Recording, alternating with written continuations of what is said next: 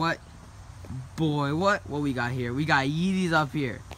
Yo, what is up guys? Yo boy, Fat Ass Dinosaur, back at it again with a new video guys, and today I'm unbox my new Yeezy V2 Breds I got from a reseller. I legit checked them. I went to a Foot Locker, Champs, like I went to two places only to legit check them, rocking my Gucci slides, and I'm excited to make a new video because I haven't uploaded for five days. So, you know, it's back. So we got the Foot Locker receipt. I got I already I bought shoes from Foot Locker. It feels real. Everything's good. And here's the little thing, size 9 Yeezy Boost V2 Breds. Let's put that on here and let's just unwrap the shoe. Um, I'm excited because this is uh, my second pair of Yeezys I've ever gotten. Here's the first shoe. Damn, it's so nice. The quality and like stitching on the back and everything. Wow. Wait.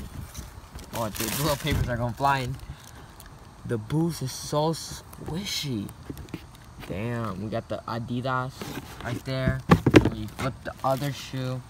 Here's a little peek of the shoe. We got the little UA key and the PRCHK. And, um,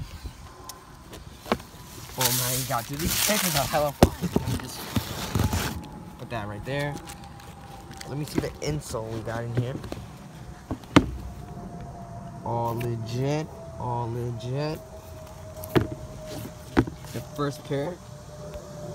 And let me unbox my second pair. Damn, we, these are so nice. These are actually my second favorite colorway Yeezys. I just like them because they match with everything and they just look so perfect. Like, you know, we got the little the little thing right here, the little bump. That's what I call it. And dude, the stitching, they mastered it. Oh my god, these are these are way better than my zebras. I like them way more. So, all we got here is a little keychain. So guys, if you guys want to see um, a video on feet with these Yeezys, I'm happy to make one.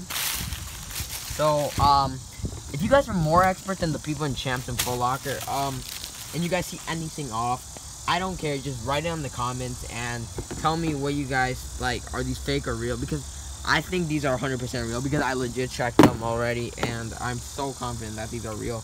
I paid, I paid 700 bucks for these, so I'm so damn confident that they're real. So, yeah. So guys, subscribe and leave a like, guys, and daily uploading like always. Peace.